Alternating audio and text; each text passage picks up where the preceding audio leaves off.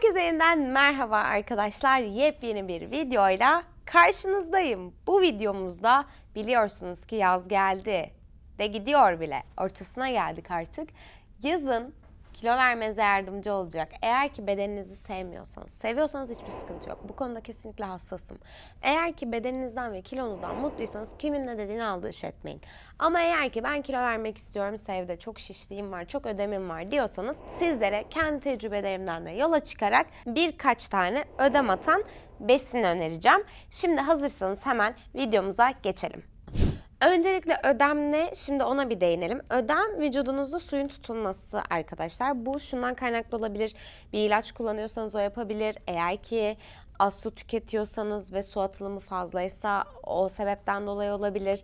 İşte efendime söyleyeyim eğer ki bağırsaklarınızda bir problem varsa bundan kaynaklı olabilir. Hani mesela ben kendi adıma konuşayım. Dün diyetisyenime gittim bir kilo yağdan vermişim ama bir kilo sudan almışım. Yani ödem var vücudumda. İşte ben de kendim uygulayacağım ve size de tavsiye edeceğim ödem attırıcı besinlerle geldim. Hemen videoya başlayalım. Bu besinlerden ilki yoğurt. Biliyorsunuz ki yoğurdun içinde çok fazla yararlı probiyotik var ve yararlı probiyotikler de vücudunuzdan ödemi atmanıza yardımcı oluyor. Peki yoğurdu nasıl yiyelim?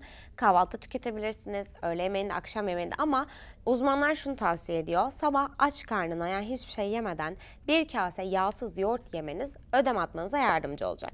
Geldim iki numaraya. İki numarayı bence hepiniz duydunuz ananas. Yani ananası hiç yemeyenler böyle bir falan yapıyor ama gerçekten tadı güzel arkadaşlar. Ve ananasla yapılan bir sürü detoks içeceği var. Neden? Çünkü ananas ödem atmada ilk sıralarda geliyor ve ananasın avantajı şu ki ananası her mevsimde bulabiliyorsunuz. Tabii ki fiyatlarda değişiklik olabilir ama ananası direkt de tüketebilirsiniz. Bu arada ananas ödem attırıyor dedik ama 10 tane falan yemeyin arkadaşlar. Yani bir halka dilim olacak şekilde falan. Ya da bununla çok güzel detoks suları hazırlayabilirsiniz. İlerleyen videolarımızda da sizlere çeşitli detoks suları tarifi vereceğiz. Bir diğeri ise kivi. Kivi biliyorsunuz ki içinde çok fazla C vitamini bulunduran bir meyve. E tadı da güzel. Her mevsim bulamasak da kiviyi de bulduğumuzda tüketmeliyiz. Çünkü neden? Şu yüzden içinde pektin maddesi var ve pektin maddesi vücudunuzdaki toksinleri temizliyor. Gerçekten çok önemli. Bu arada kivi ile yapılan detoks suları da var. Onların tariflerini araştırabilirsiniz. Biz Mavi Kadın'ın web sitesinde de zaman zaman bu tarz e, detoks suyu tarifleri paylaşıyoruz. Bizi oradan da takip edebilirsiniz. Şimdi geldim yeşillere. Yeşiller diyorum ama bunlar tabii ki maydanoz ve salatalık.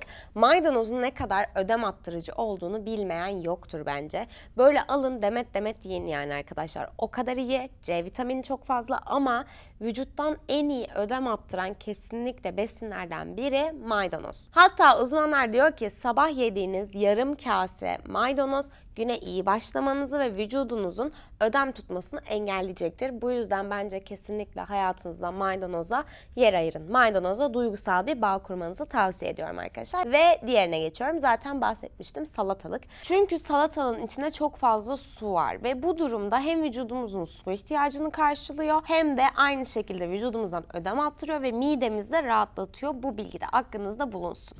Videonun sonuna geldik. Ben şu an sizlere sözlü olarak anlattım ama bir gün gelecek ki ki yakın bir zamanda uzmanlarımızla birlikte burada sizlere detoksları hazırlayacağız ve tavsiyeler vereceğiz. Videoyu beğendiyseniz beğenmeyi, kanalımıza abone olmayı ve Mavi Kadın'ın videolarını kaçırmamak için bildirimleri açmayı unutmayın. Sizleri seviyorum. Hoşçakalın. Bay bay.